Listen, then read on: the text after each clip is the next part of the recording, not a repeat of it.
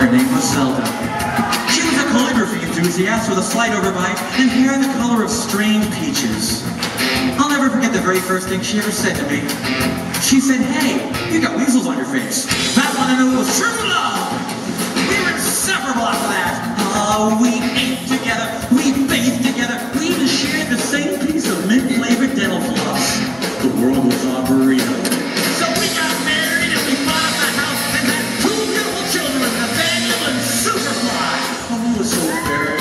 very, happy.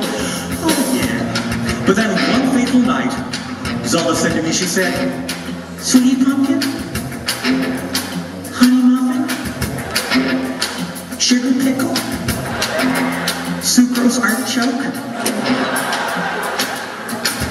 Do you want to join the Columbia Record Club?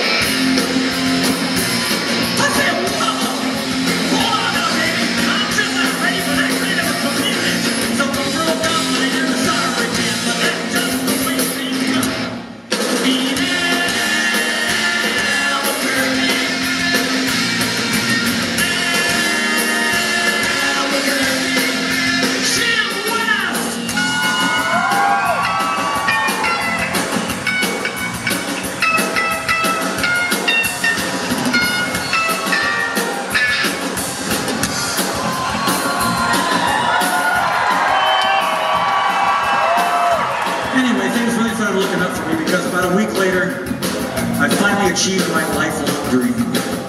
That's right, I got me a part-time job at the Sizzler! Yeah!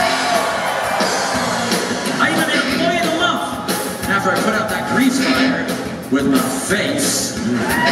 Everybody was pretty jealous of me after that. I was getting a lot of attitude. Okay, like one time,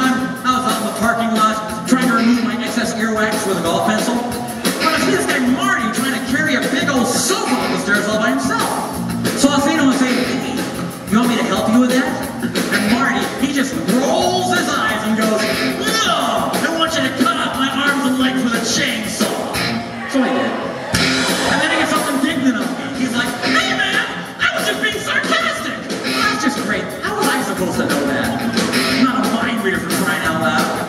Besides, now he's got a really cute nickname, Torso Boy. So what's he complaining about? Say, that reminds me of another amusing anecdote. But it's getting kind of late. You